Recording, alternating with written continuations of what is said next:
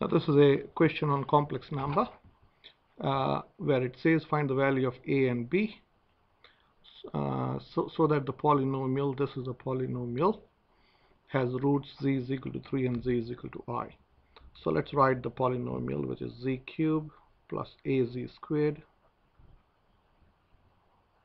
plus 3 plus i times z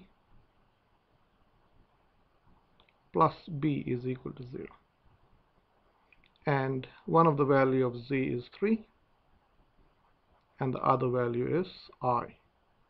Okay so before I start one thing that I need to clarify if this can be confusing uh, uh, you got one root is 3 and the other root is i. Okay so according to the conjugate root theorem if one root is i the other root should be minus i. And also the there is a, a geometry between the roots.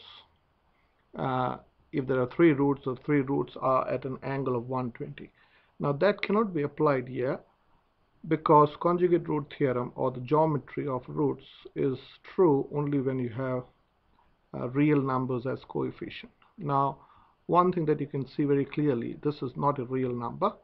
This is a complex number so what we're going to do is we're going to substitute this in this and see what happens. So if you put z is equal to 3 in this so this is 3 cubed so that's going to be 27 plus a times 3 squared that's going to be 9a plus 3 plus i times 3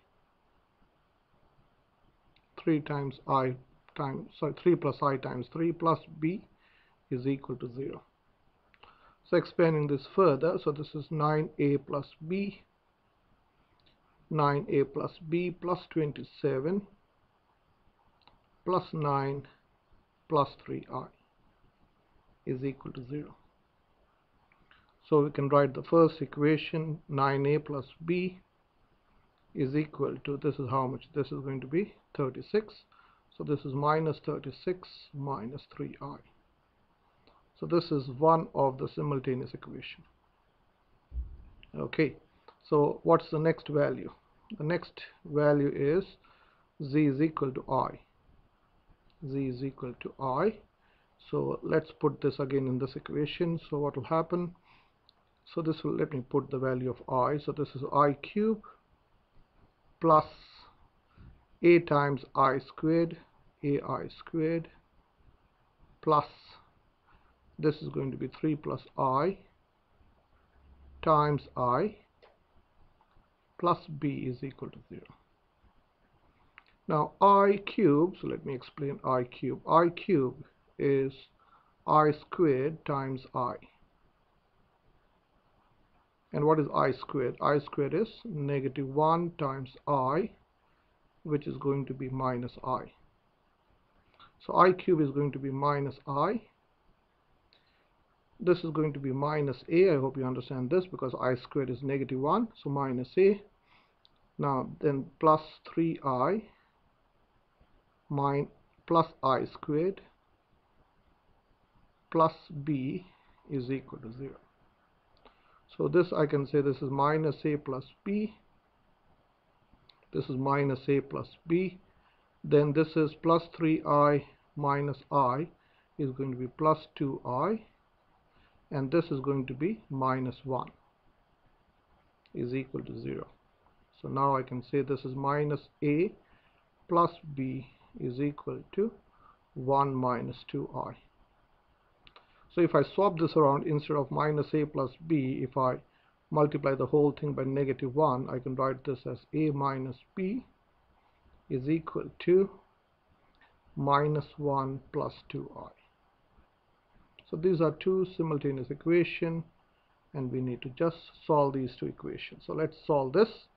So let me write the bigger equation first. So 9a plus b is equal to minus 36 minus 3i and a minus b is minus 1 plus 2i so what will happen? So this is simple simultaneous equation. So this is 10a is equal to I hope you can do the rest yourself. So this is minus 37 plus i. Minus i sorry minus 37 minus i. Just adding it. So 8 9a plus a is 10a minus 36 minus 1 is minus 37 minus 3i plus 2i is minus i. So this implies a is going to be minus 37 minus i divided by 10 and now you have to figure out what is b by solving for b. So let me drag this up. So let me use a different color. So what do we know? A minus b is equal to this. So let us rewrite. A minus b is minus 1 plus 2i so let's put uh, this okay so this is what is a? A I can write as minus 37 over 10 so let me distribute this in the real part and imaginary part. Minus 27 over 10 minus i over 10 minus b is equal to minus let me write this as 10 over 10 I'm going to multi I'm multiplying both by 10 so this is plus 20i over 10 I hope you can see what I'm doing. So making b the subject so this is making b the subject so minus this is minus 37 over 10 uh, plus 10 over 10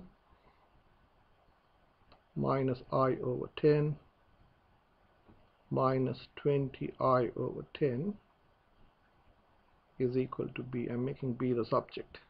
So basically b I'm adding b to both sides and adding the opposite of this two on the both sides.